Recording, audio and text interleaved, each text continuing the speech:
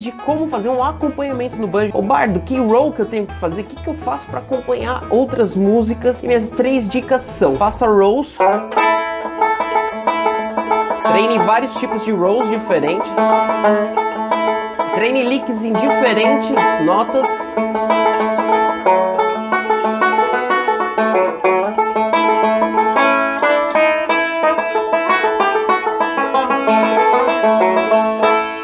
E treine também o vamping.